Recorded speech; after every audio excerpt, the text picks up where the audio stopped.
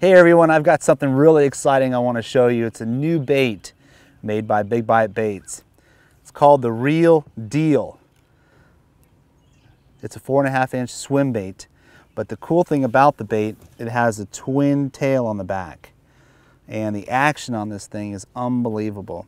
Now there's a lot of ways you can rig this thing. You can put it on an A-rig or you can put it on a, a belly weight on a Gamakatsu or you can use a regular uh, you know, jig head weight and throw it out there and have it exposed on the top.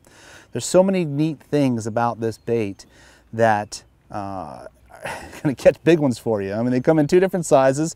Uh, right now, this is a four and a half inch model, and we have a two and a half inch model, real small one, real minnow type deal that, uh, that works phenomenal also. But I'm here to talk about the four inch, four and a half inch on this. And you could throw it on your regular, you know, terminal tackle, uh, anything from a seven foot medium heavy action, um, you know, 20 pound sunline in that range. I mean, you're going to be, you're going to be well off. And, and this bait has so much action that the way it tracks, it tracks so straight and both tails are just going violently back and forth, violent back and forth, a lot, a lot of action uh, with the bait. And it's gonna get, it's gonna work really good when the fish are schooling, uh, when the shad are spawning up in the shoreline.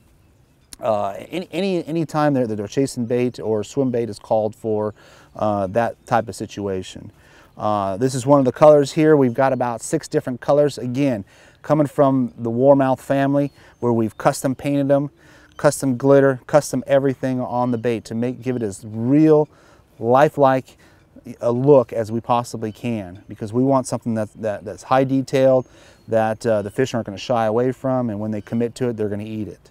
So be looking for it. It'll be released at the 2013 ICAST show in Las Vegas. You know, the beauty of the bronze-eye shad is being able to get it way back in the cover. And the neat thing about this bait, it, it walks so good that you can pretty much keep it into one spot and basically do almost a 360 with it.